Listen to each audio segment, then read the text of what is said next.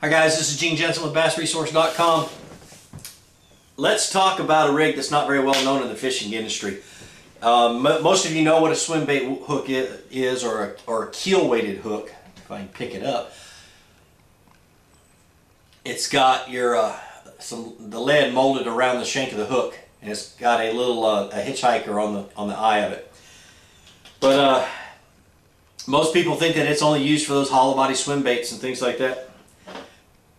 But there are guys that for several year, years have been using it for just about any soft plastic.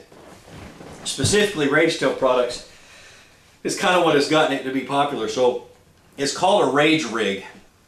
And uh, I'm going to show you how to rig it today and I'm going to show you how to fish it what you want what you want or what's ideal is a is a bait. When it's falling it falls on the horizontal. And that's what these do. That weight pulls them straight down so they fall on the horizontal and you get those claws that just flutter.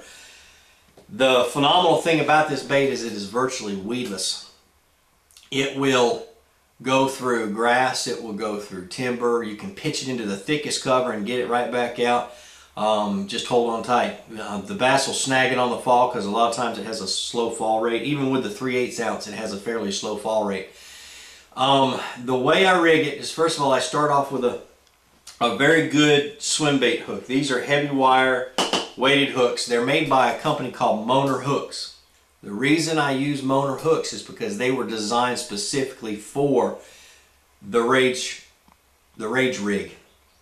So, um, the guy, the, the, I guess the guy that owns it, Matt, he uh, he loves that rig so much that he said, "Well, I want to make the perfect hook for it," and that's kind of that's pretty much what he's done. You got a nice heavy wire hook, uh, you get a, a, nice stainless steel hitchhiker, and a uh, and a lead, uh, and the lead is perfect on that shank of the hook, and it's not too far up.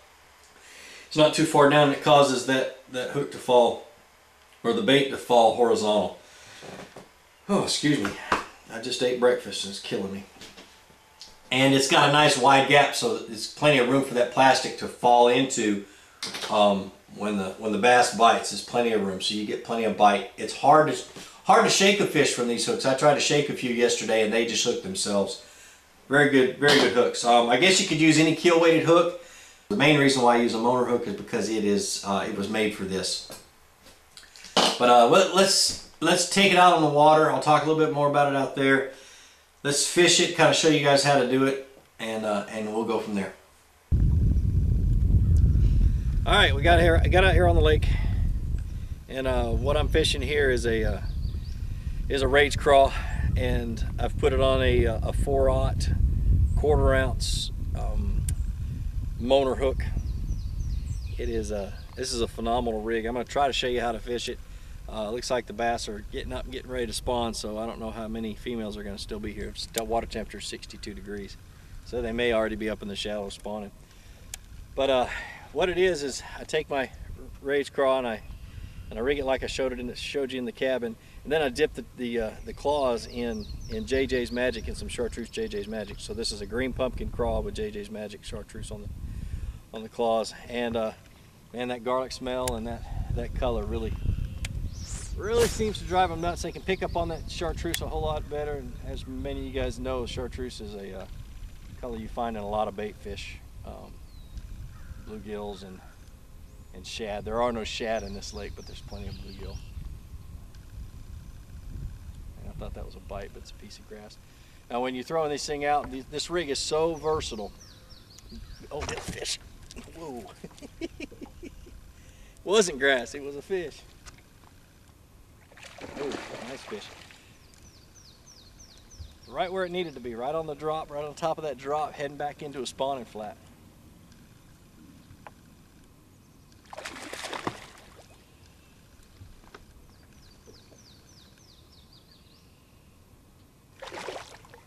I'm fishing this on 15 pound test, Izorline Triple X with a uh, Dobyns 702C.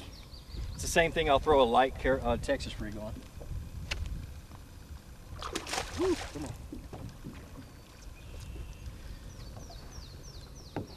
Nice chunky male. At least I think that's a male. These Moaner hooks are pretty good. Like I said, they are designed for this rig.